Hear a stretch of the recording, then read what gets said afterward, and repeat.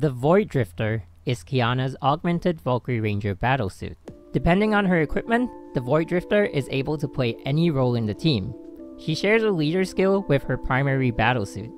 Her basic attacks are ranged and increase in attack speed when repeatedly attacking an enemy.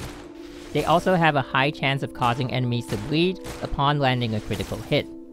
With the fourth attack sequence, she's able to create an Enerstrom that pulls enemies to its location. An Enerstrom is also created when activating her evasion skill with an ultimate evasion. Enerstroms also apply void marks on enemies and restore 8 SP to the Void Drifter when created. It is worth noting that Enerstroms can only be activated when there are targets available. With her combo attacks, she uses a subspace lance and switches to melee attacks, gaining the ability to ignore interruption and increasing her defense by 60%. On the third sequence of her combo, she inflicts a time slow on void-marked enemies. Her combo attacks grow stronger with every hit, deal increased damage to void-marked enemies, but also increases her Herrscher charge.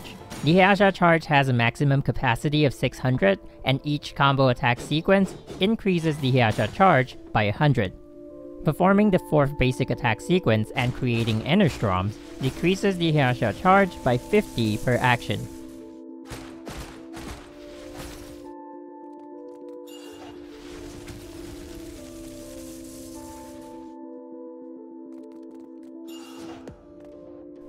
Completely filling the Herrscher charge causes Kiana to enter inner turmoil. While in this state, Kiana is temporarily incapacitated, losing her ability to attack, evade, and use weapon skills. When triggered, Inner Turmoil also stuns nearby enemies and gradually removes Kiana's Herrscher charges. Teammates also gain 12 SP and 20% total damage multiplier for 12 seconds. To deal with the negative effects of Inner Turmoil, teammates can be switched in, or the Void Drifter's ultimate skill can be used. Her ultimate skill completely and instantly removes her Herrscher charges upon activation, stuns and void marks enemies, and increases her critical rate by 20% for 7 seconds. Adding that to the passives from her combo attacks before its activation, Kiana's offensive capabilities gain an immense boost. There are multiple combinations of equipment that can fit the Void Drifter. With her array of skills, she is able to adapt to all situations, but with varying degrees of effectiveness. As a support Valkyrie, the Void Drifter can primarily be used to gather enemies in drawn-out battles. She gains Ignore Interruption and total damage reduction on entry or ultimate evasion, and an additional 8 SP when creating an Inner Enerstrom, enabling her to use support weapon active skills with ease. Being a good shield breaker and dealing considerable damage, Void Drifter plays both the role of physical support and sub DPS, which can be useful in teams where the main DPS Valkyrie isn't fully equipped. After gathering enemies, she can proceed to unleash her combo attacks and eventually enter Inner Turmoil. Doing so provides SP and total damage to the team, in addition to stunning nearby enemies. Ending her combo on void-marked enemies with the third sequence provides an added advantage of inflicting Time Slow, which can be used to trigger Time Slow QTEs. When it comes to Kiana playing a support role, Mjolnir and Judgment of Shamash are excellent choices. Mjolnir's active skill itself is a good shield breaker, and when put in the hands of a Valkyrie who's also a good shield breaker, it creates a situation where the main DPS almost never has to deal with shields. Judgment of Shamash provides an increase in damage for a longer duration than Mjolnir is able to, but has a longer cooldown and HP limitations, making it more useful in a boss fight than in drawn-out battles. With the Void Drifter's ability to constantly use weapon skills, Gustav Klimt's T and M make a great combination. Being a support for sustained combat, Ogier B makes a great option. The full set of Theresa Origins is also a good option, lowering the cooldown of weapon active skills, buffing the user, and most importantly, providing bonus physical damage to the team. To be capable of filling the role of main DPS in boss fights, the right equipment is paramount to the team's success. Tranquil Aureus provides a tremendous momentary boost in total damage, which is ideal against bosses. In combination with Drive Kometa's passive or Blueberry Blitz's ultimate skill, Shenlong's Guardians can provide a considerable boost in physical damage while enemies are weakened. When taking on bosses in the Memorial Arena, Schrodinger T's 205% total damage multiplier buff is unparalleled and is well worth re-rolling for.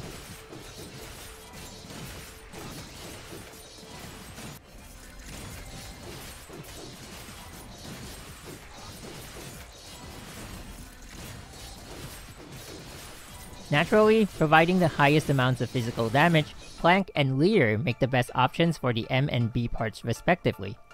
However, replacing them with Dark Xianyun M and B can also produce similar results. In sustained combat, the Keys of the Void can work well with the Void Drifter's innate passive ability to increase her own critical rate and damage. Mjolnir comes in handy with both active and passive skills being beneficial, Due to the Void Drifter's playstyle of having to constantly switch out, Tranquil Aura's passive can be refreshed and fully utilized. Leveraging on the Void Drifter's attack speed, Schrodinger Brand's full set can reach its full potential in a short amount of time. As a set that elevates the potential of combo attack users, and with the added bonus of the 3-set ability on Kiana, Schrodinger Band buffs every aspect of the Void Drifter battlesuit in sustained combat.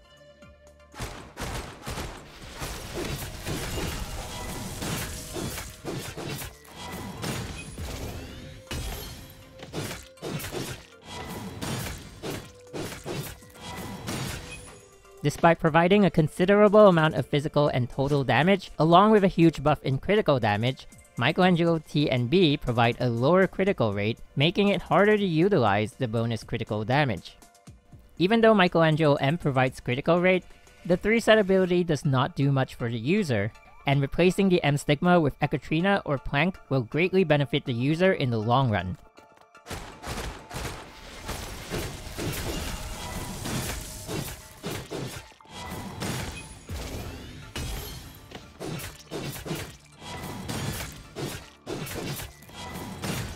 Zorro M could also work well, as it provides an increase in critical rate and yet another huge boost in critical damage. With 7 hits in her basic attack sequence, the Void Drifter can effortlessly max and maintain Jingwei's Wings' passive ability.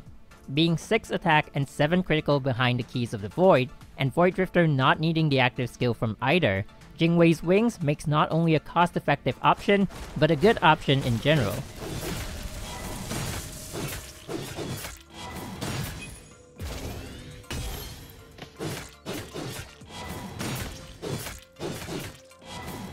When pressed for alternatives, the two-set ability of Picasso T and M can prove to be a great asset against bosses. In teams where the Void Drifter's QTE can be constantly activated, Dark Xianyun's two-set ability also proves to be a strong combination. Jingwei T with Dark Xianyun M and B can actually make a strong set against bosses. Though each has an inherent weakness, Attila B and Fuhua Pride B both fit the bill as a cost-effective alternative for B Stigmata. For team composition, the Void Drifter actually requires very specific setups to bring out her potential against bosses. All Valkyries and equipment in the team work as one, and with a single component missing, the team would likely fail to achieve the desired results. The Herrscher of the Void, although most commonly known as a main DPS, provides one of the best leader skills for physical damage Valkyries. Her abilities to swiftly apply debuffs and trigger time slow QTEs makes her an integral part of this combination, Weapons should be chosen according to the boss the team is up against. In some cases, no specific weapon is required. For Stigmata, Tesla Band T for passive physical damage increase to the team, Beethoven M in teams where the main DPS uses melee attacks, and Isaac Newton B for its total damage multiplier debuff are chosen. Despite a slight time restraint, the M Stigma is interchangeable with May Beach Party M, with the Celestial Hymn's QTE impairing enemies, it not only lowers their defense by 50% for 7 seconds, it also triggers the Void Drifter's QTE. Together with her passive ability to increase the team's critical damage by 30% on impaired enemies, and including her 25% boost to the team's physical damage for 7.5 seconds when deploying her cross, the Celestial Hymn also has little to no alternatives in this combination, not forgetting an additional 10% critical rate if the cross deployed is the 11 Sacred Relic. Entering the field with her QTE and deploying her cross allows the Celestial Hymn to cross out all requirements needed to utilize Gustav Klimt T and M with Isaac Newton B. The Blood Embrace Elf helps greatly with shield breaking, and can save a lot of time that might otherwise have to be spent on rerolling for critical hits and Schrodinger T damage.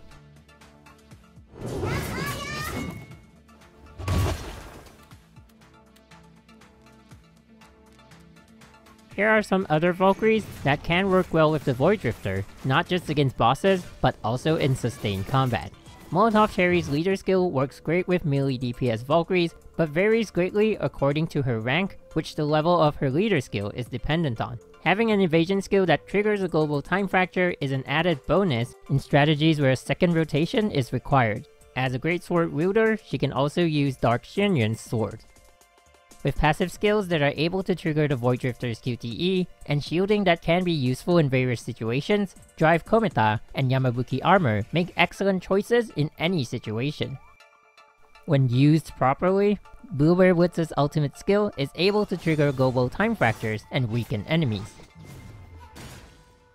Her QTE also triggers a global time fracture and is fairly easy to activate, with a low SP requirement, she's able to effectively utilize the 2-set ability of Tchaikovsky. Combining that with Ogier B makes her a great support. If available, any two parts from the Beethoven Stigmata set are highly recommended. Blueberry Blitz also happens to be a great sword user, and is able to equip the Dark Xianyun sword. Valkyrie Chariot is yet another support Valkyrie that has an ultimate skill with a low SP cost, allowing her to easily make use of the Tchaikovsky and Beethoven 2 set abilities. Even though the Void Drifter herself is capable of gathering enemies, Valkyrie Chariot's ultimate skill can pull in enemies from a longer distance. Void Drifter can then proceed to use her Enerstroms to continue holding them in one place. There's still a multitude of Valkyrie and equipment combinations other than those suggested. In essence, as a support, the difference between the Void Drifter and Valkyrie Ranger is the Void Drifter's ability to go on the offensive and be a sub DPS. And even though she's capable of dealing tremendous amounts of damage, she does require specific setups that might not easily be accessible. It is best to fit her into teams according to the equipment and Valkyries available.